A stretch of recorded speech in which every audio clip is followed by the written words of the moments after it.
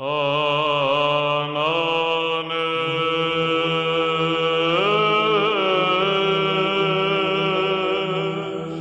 there! I was approached by John who gave me a Conway Stewart Winston and a Onoto Charles Dickens and he thought that was not enough so he also gave me the Visconti Ragtime Limited Edition and he gave me this pen. And this pen to be honest this has been one of my grail pens for years and now I got it from John just as a gift which makes it even more spectacular. I was in London uh, in May 2012 for a course I was taking and I went to Fortnum and Mason. Uh, that is a, a, department store where the, the shop clerks actually still wear frock coats. Super nice super classy uh, a really nice place and they have a stationery section. And that is where I bought my Yard-O-Led Retro Grand. and that was one of the first pens I ever reviewed but while I was there uh, the shop clerk also said you should hold this pen which was another Yard-O-Led and I loved it, but it was not exactly cheap. Uh, so I held off, uh, held off on that pen at that point, but now I got it from John. So John, thanks you, thank ever, thank you ever so much, uh, because you probably did not know that I was such a huge fan of this pen, and I really wanted to buy it for a long time. And every time I thought, yeah, but it's so expensive, and now I got it as a gift. So that's amazing. Um, the pen I'm talking about First I'm going to show you this just to keep you in stress for a little bit longer. John also sent me this super cool pen pouch from Yard-O-Led which is leather and I love the design of this thing. So it has a little flap but it also has this band which pops open and then you unravel that band then this whole flap comes off it so it opens and then you can put your pen in there. So this is not the pen I'm going to discuss today, but you can just put your pen in there. It's very soft material, very pleasant. You put it in, you close it up, you put that little wrapper band around it again, and then uh, with a bit of luck, this is a very thick pen, so it doesn't make it very easy, but then you can slide that back in place, and then you have your pen completely covered up, which I think is superb. I've never seen such a fancy uh, design on a pen pouch, but Yard-O-Led really did a nice uh, job on, on this one. Very nice uh, leather, as you can see. Uh, has the name on there, very smooth, very supple. Uh, I don't have I don't have a model name on this, so you'll have to check out the Yard-O-Led website if you want it. I'm sorry, I don't know which it is. Now here's the pen. Comes in this cardboard sleeve, but Yard-O-Led I know makes excellent pen boxes. So you have the cardboard.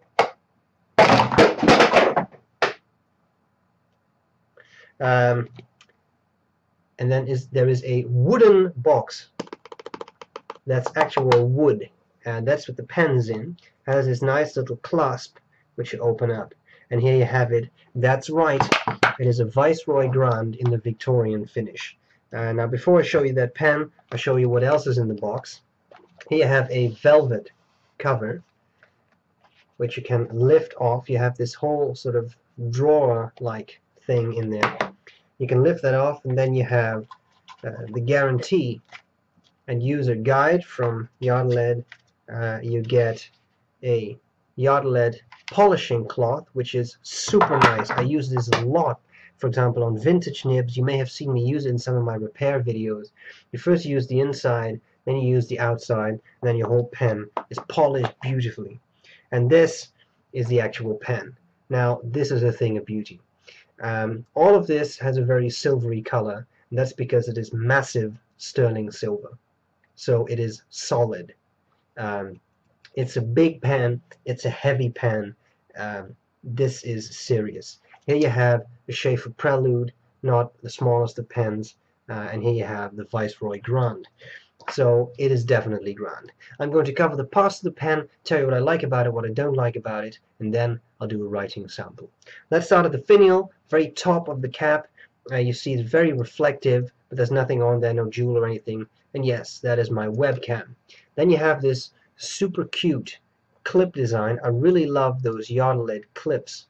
Uh, it says Yard-O-Led and it has these, these two little rivets Yard-O-Led started as a company that made mechanical pencils, and if I understand correctly, you got four 3-inch leads with your pencil. So in other word, in other words, a yard of lead, yard lead. That's where they got the name. Okay, now top of the cap, you have that nice smoothly polished bit and then three rings and then this is the Victorian finish. Here you have a little plate, you can have that engraved with your name or something. Um, and here you have 925 92.5% silver, that's what's necessary to make it sterling silver if I understand correctly, and another hallmark, and you can align that with the barrel, and then you see all these hallmarks. Now I don't know what all of these mean, you have the yard lead logo, and then you have 925, again you have that anchor, you have a little lion. I know that all of those are important for it to be marked as sterling silver, so that's very very cool. Um, as I said, this finish, I mean, guys, this is stunning. Beautiful engraving. Then it ends the end of the barrel again with those three rings, and then uh, the end cap is again very reflective. The pen pops open. I'm clearly not going to post this thing because I don't want to scratch anything on it. You have a section. It's a big section. All of this again is silver. And then you have the nib.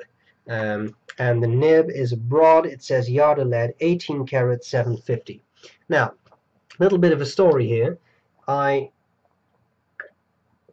was told when I bought my yard lead that the nib was silver, and I thought that is highly unlikely. So at some point I contacted Yard-O-Led and said, okay, uh, what's the deal? Is that really silver? And then, believe it or not, the CEO of Yard-O-Led emailed me back uh, very in, in very short span of time, and he said, no, it's not silver. We use solid gold, and then we plate it um, with nickel uh, so that it actually matches the silver finish of the rest of the pen. So it is not white gold, what some people seem to think. It is yellow gold, but it is plated with nickel, just so you know. Okay, the section is big and it's very smooth. I have not really had issues with it getting slippery, but yes, if you use it for a long time, your fingers get a little bit sweaty, you will feel a little bit of slipperiness because it is, you're holding highly polished silver. You unscrew the pen and then you get a um, I always find it fascinating that there's a little rubber, black rubber O-ring. I always wonder whether you can also use these as eyedroppers, but all of the barrel is metal, so I personally wouldn't recommend it.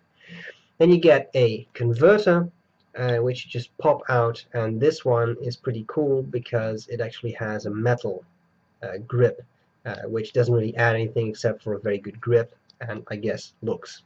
So that's quite interesting. You pop it in, screw the barrel in place, and then you have your gorgeous pen. Um, is it big? Yeah, it's big. And okay, I'll very carefully post it. You post it, it's really big and it's heavy. You feel the weight of the silver, and that's exactly what I remembered from London when I held it. You feel that weight, making it uh, it feel very robust and like you're really holding a big, serious pen. And that's very cool. Now, I think we need to take a couple of measurements, and I'm sure you're dying to see this thing right, see if it's really as good as, as you know, what you pay for.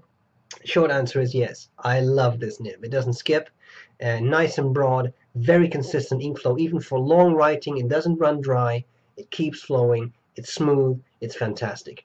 It gives you a sort of feedback that lets you know that you're writing, it's not scratchiness, beautiful. Okay, now, weight in my experience, a 50 gram pen is heavy. We experience 50 grams as heavy. This pen is 70 grams. So that really is a whole lot of pen. Size capped is 148 millimeters. That is long. Uh, it's almost 6 inches. Uncapped, it's 138. Now, sorry, 139. Uh, that is a good five, almost, I think, about five and a half inches or something. Section diameter, at the narrowest point, it's about nine and a half. At the widest point, it's about 12 and a half millimeters. And one thing I have not shown you yet, uh, which I find pretty cool, is that on the section there is a marking. I'm not sure if you can read it, but here it says 925 sterling which is quite cool Okay, uh, I, I noticed I forgot the what do I like about it, what do I not like about it, what do I like about it, everything. What do I not like about it, nothing. Um, this is a Grail pen. This is superb. Uh, other things I don't like about it, yeah, of course. Yes, it's super expensive. Yes, it's very heavy. So for really long extended writing, it will tire your hand out. Um, clearly, if this gets stolen, your your your life is ruined. Uh, they're very expensive. Um, so I, I can see how uh, people would keep this at home not take it to work, for example. Um, so yes, clearly it has issues. It, it, it has, you can have some trouble fitting this into a standard pen case. I'm doing that now because as you can see it's it's very big um, but I do get it to fit uh, in there um, but yeah though you, you could say that those are downsides big heavy bulky um, flashy which some people don't like but believe me if you ever have a chance to try this out in a shop do it just for fun because it really is a superb feeling to write with this. Okay we need a writing sample. I say again John thank you so much for sending me this fantastic pen. I absolutely adore it. This one is going to stay inked for a long long time. Um, guys I hope this was useful and um, I'll see you later. Bye bye alright here we go with the Yard-O-Led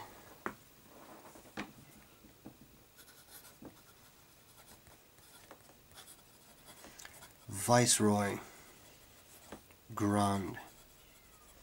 The nib is broad and the um, ink is Yard-O-Led Blue. One of my favorite blues. When it comes to blues, I don't use blue inks a whole lot, but this one is definitely one of my absolute favorites. The paper is Clairefontaine, and we're going to do a writing sample. Even for these, what is it, seconds that I've been holding this pen, I'm already feeling the weight. Uh, it's really all that silver, it really, really adds heft to this pen. So for very long writing sessions, um, I'm not sure whether this is the pen. It's very stable, but it also really weighs you down a bit. Let's do this a bit faster.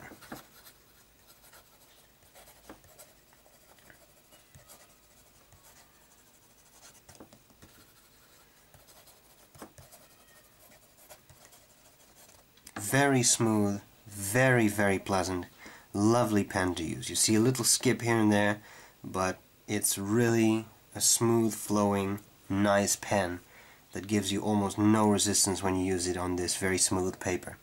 On papers with a bit more texture, you, texture, you get a pleasant feedback from Yard-O-Led nibs. At least in my experience. This is the second one I use, and it's it's it gives you a type of feedback that's not actually scratchy, it just lets you know that you're feeling with the pen on the paper. What about wetness? Well, my Yard-O-Led Retro Grande is not a gusher, but it's definitely wet. Um, and this pen is the same. Uh, it's, it's definitely on the wet side of things. When it comes to line variation, this is an 18K nib. And you can definitely carefully squeeze out a bit of line variation and also get some nice shading of your ink. You don't see it that well in this blue, but here, right here you see it a little bit. So that's all very, very cool. Now we have some reverse writing, and as you can see, that's not really possible. The pen runs too dry for that, and you can't really read your writing anymore. Having said that, I think this is a gorgeous and beautiful pen. I mean, look at this finish. It's shiny, it's gorgeous, I absolutely love it. Um, so, John, Thank you very, very much for sending me this extremely beautiful and precious piece. Uh, I love it. I'm going to use this one with pleasure. And to all you guys out there, I hope this was useful. And uh, I'll see you later. Bye bye.